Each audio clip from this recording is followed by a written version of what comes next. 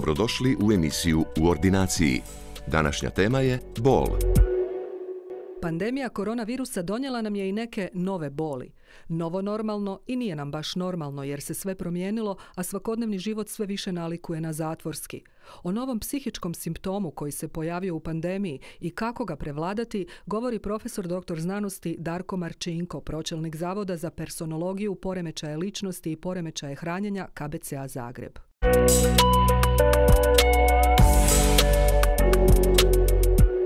Svjetska psihijatrijska organizacija je primijetila zadnjih mjeseci da se od početka pandemija covid zapravo dogodio jedan novi psihijatrijski simptom. Dakle, ukoliko neko blizak vama oboli od covid zbog mjera socijalne distance vi zapravo ne možete komunicirati u blizini s tom osobom, jel? Dakle, ne možete fizički biti prisutni blizu te osobe.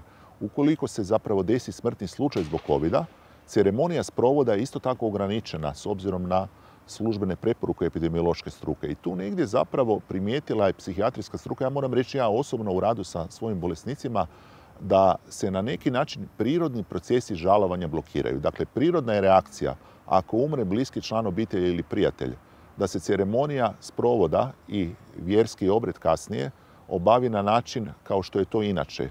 Sada je zapravo s obzirom na ograničenja različita iz pozicije epidemiološke struke to nemoguće, odnosno to je limitirano. Samim time zapravo limitirani su prirodni procesi žalovanja nakon gubitka. Tu sam primijetio zapravo u svojoj praksi da upravo taj problem muči današnjeg čovjeka. Problemi određivanja nekih ranijih životnih situacija, problemi određivanja ovih procesa žalovanja. Ovaj prirodni proces žalovanja ima nekakvih pet faza. Faza šoka, faza tuge, faza ljutnje, faza depresije i tek peta faza je faza prihvaćanja.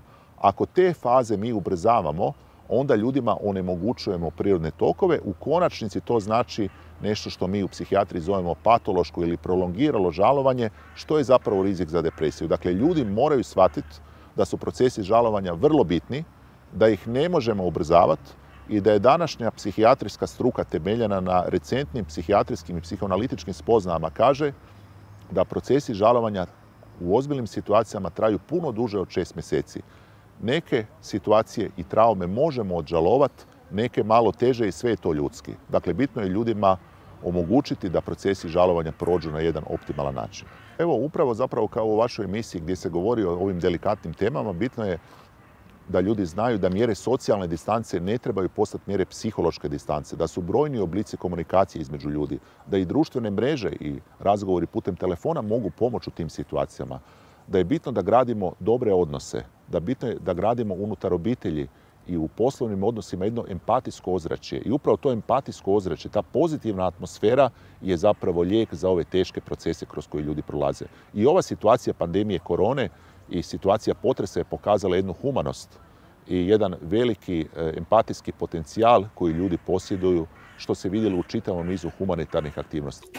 Igre na sreću igrajte samo radi zabave. Ako više ne uživate u igri, pitajte se zbog čega nastavljate s igrom. Previše je previše.